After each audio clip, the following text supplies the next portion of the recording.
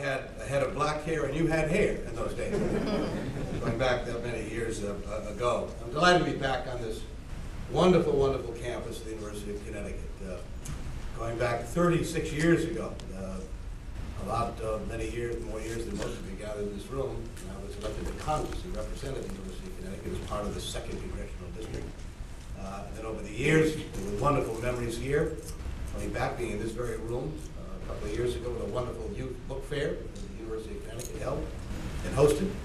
The establishment of the Dodd Center, in memory of my father, uh, an archival research center dedicated to the issue of human rights. And President Bill Clinton came to the university uh, campus to dedicate uh, that facility back in 1995, 15 years ago, on the 50th anniversary of the opening of the Nuremberg trials, which was the first international trial of its nature in which the, uh, the, those who caused World War II, the leaders of the Nazi regime, uh, were prosecuted. Uh, And so the record of human rights and the collection and recognition of people making a difference every day around the world are recognized on this campaign.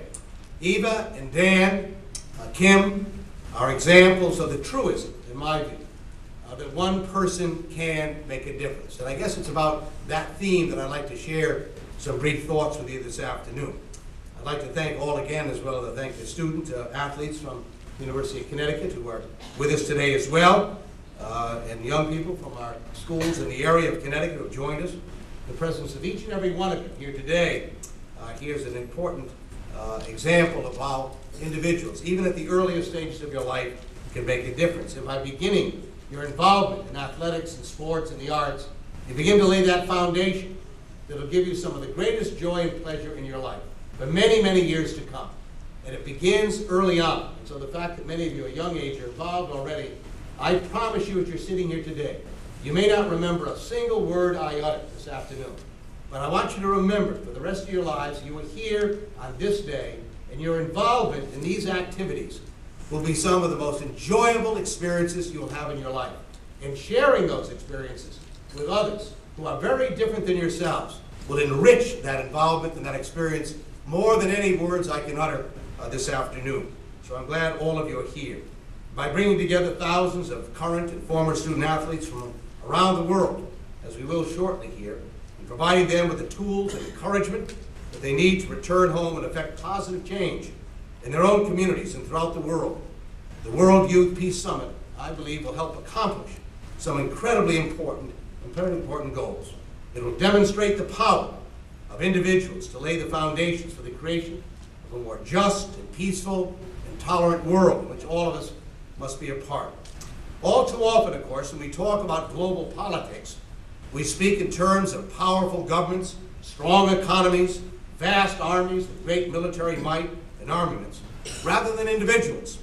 We relegate the impact of the individual cross-cultural exchanges and attempts to create greater understanding and acceptance among peoples with widely divergent customs and views to a very low rank in terms of their ability to effectuate change. And while it is true that none of us in this room necessarily has the power alone uh, to move armies or to change the course of history single-handedly, we should never allow ourselves to be lulled into under- underestimating how the actions of one individual can make this world a far better place. So allow me to share with you some examples of how one person has made a difference lives of all of us today.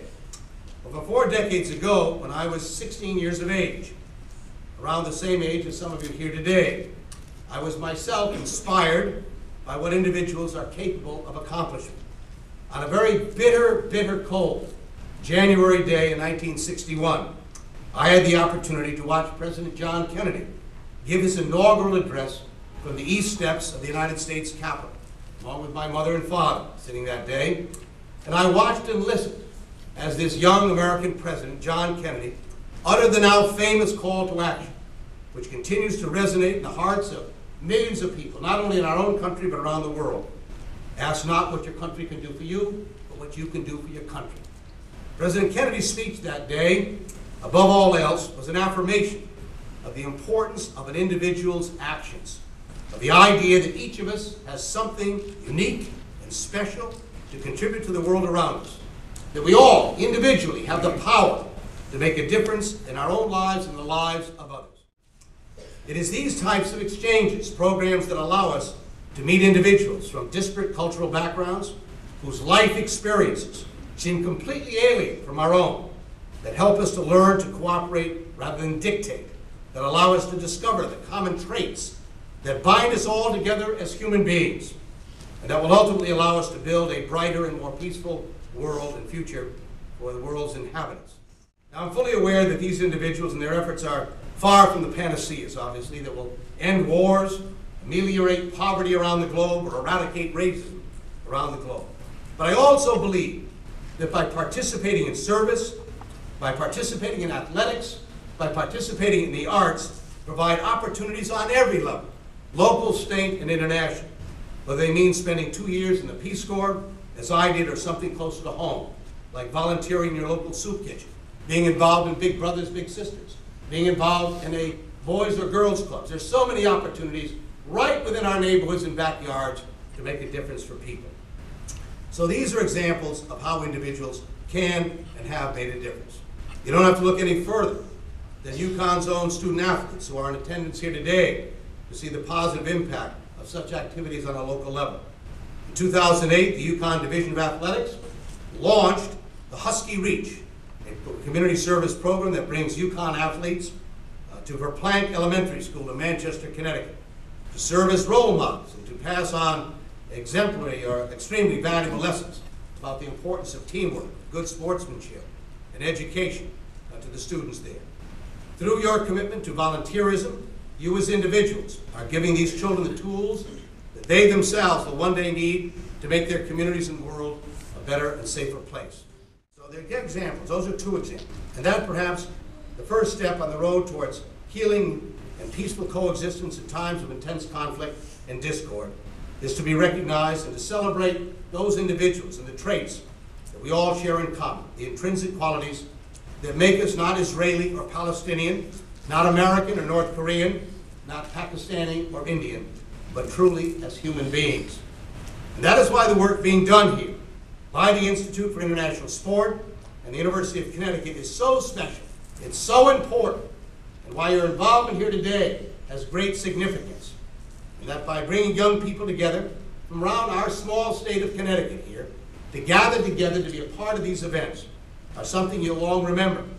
You are helping to mold a new generation of leaders that will appreciate the similarities that bind us all and that are able to start something positive, start some positive change in your own communities.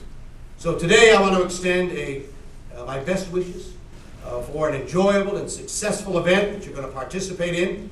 And to all of the young people who have joined us here this afternoon, I have a few very simple messages.